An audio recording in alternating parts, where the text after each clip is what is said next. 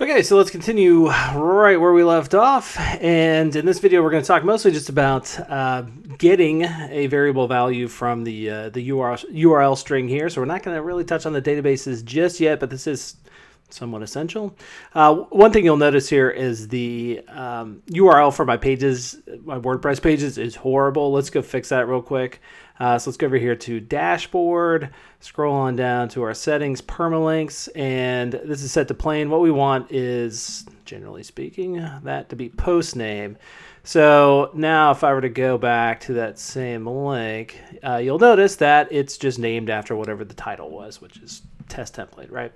Okay, so what we're going to do is we're going to put a little question mark right here, and we can put in something like variable equals, I don't know, cartoonsmart.com, right? Something like that. Shameless plug. And and then spit that out uh, in down here, okay? And that's pretty much all we're going to take care of in this particular video. So if you already know how to do that, well, more power to you. And I'm looking at the wrong file, aren't I? There we go, testing.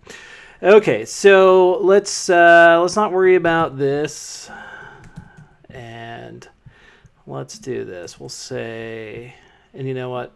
Let's not worry about that for right now either. In fact, I could just get rid of those. Okay, hopefully you're taking notes. All right, so what we're going to do is write uh, if is set, okay, and go ahead and just make it a little bit clearer. All right, so we got our opening closing parentheses, and then in these opening and closing ones, uh, we're going to check for, do your dollar sign, and then get, okay, and then let's just put in here variable. All right, so if that is set up, uh, then we're going to actually use this part of it right here. Remember, this is what I just put right over there, okay? All right, so uh, and then you know what we should do? Let's do this. Let's say, let's just make a variable. The variable equals. All right, so this is going to equal nothing for right now.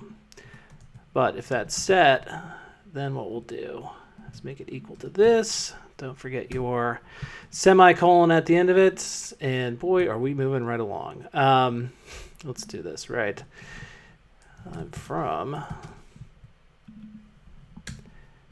and leave that little space in there and then we'll just put in the variable okay so that's just gonna right I'm from and then whatever that uh, value in the URL string was and let's save it and upload it and I still have this file in the worst possible place, the desktop. All right, so I've replaced the uh, testing.php file. So when I flip back over here, let's see what happens. I'll reload this guy up. And whoa, I, uh, I, I, I, hit reload, but I forgot to actually type in, here we go, variable equals.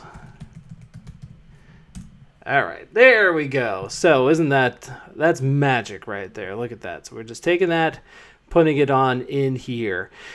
And uh, we'll be doing some similar stuff uh, with a different type of variable, a post one, uh, or a different type of uh, way of getting um, data from the basically just the, browser, the site, whatever you want to call it. But uh, this is obviously kind of out there for everybody to see, right? So if you sent this link to somebody, uh, you know they they would be able to you know go, hey, well, it looks like something to do with cartoonsmart.com. Uh, but there's other ways of um, basically sending data into your pages, and uh, that would be uh, via the post method. And normally, if you're going to be working with databases and stuff like that, uh, if you're, let's say, creating a form, poll, whatever it is, uh, you're probably going to use uh, that other method. But there's there's reasons to use this as well. so let's close down this. Look at this. I did it in under four minutes uh, and uh, and we'll we'll come back with more.